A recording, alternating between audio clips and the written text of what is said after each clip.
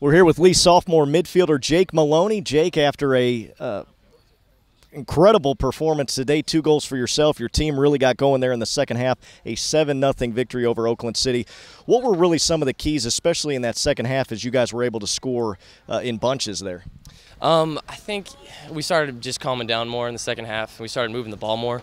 Um, there was a couple great balls, like the one that Jose had to me right through the middle, and we just got our composure down it was just really, and I think getting the rings kind of helped us, you know, like, oh, okay, we got to, you know, show it now. And I think we really just, everyone just played, stepped it up in the second half. It was just a mental thing, I guess, and we all just stepped it up. Well, the championship rings, of course, you guys got those at halftime. That had to be a, a very special feeling for you as a freshman to win that last year. And now this year, kind of maturing a little bit, uh, finding your role a little bit more in the midfield. Talk a little bit about that in year two as opposed to year one. Mm-hmm. Um, well, uh, just last year, it was kind of, there was a new system that we're playing, and I was just a little bit uncomfortable with some of the things that we were doing and how I was playing. I just didn't feel like I was myself. And as the upper class upperclassmen started to trust me more with the ball. I started to get it, move it, and just everything's been really good since then. And I feel like it's just going to keep going forward and get more goals and you know more assists and all that good stuff.